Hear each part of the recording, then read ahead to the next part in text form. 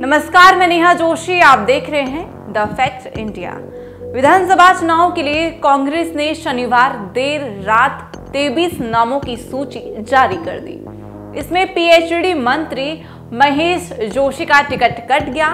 उनकी जगह शहर कांग्रेस अध्यक्ष आर आर तिवाड़ी को टिकट दे दिया गया। हालाँकि तिवाड़ी ने शनिवार सुबह ही निर्वाचन आयोग में अपना नामांकन कांग्रेस प्रत्याशी के रूप में दाखिल कर दिया था।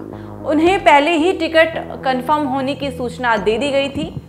तो इधर टिकट कटने के कुछ घंटों पहले डॉक्टर महेश जोशी ने सोशल मीडिया पर एक वीडियो डाला, जिसमें वे मंदिरों में जाकर आराधना कर रहे हैं। इसके अलावा उन्होंने अपने सरकारी बंगले में जन सुनवाई करते हुए और उनका वीडियो भी पोस्ट किया है। वहीं इस सूची में सीएम अशोक गहलोत के ओएसडी लोकेश शर्मा के लिए भी दरवाजे बंद कर दिए हैं। लोकेश शर्मा, पहले बीकानेर, पश्चिम फिर भीलवाड़ा से टिकट मांग रहे थे। इसे लेकर पिछले दिनों लोकेश शर्मा ने सीएम आवास पर अपने समर्थकों के साथ शक्ति प्रदर्शन भी किया था।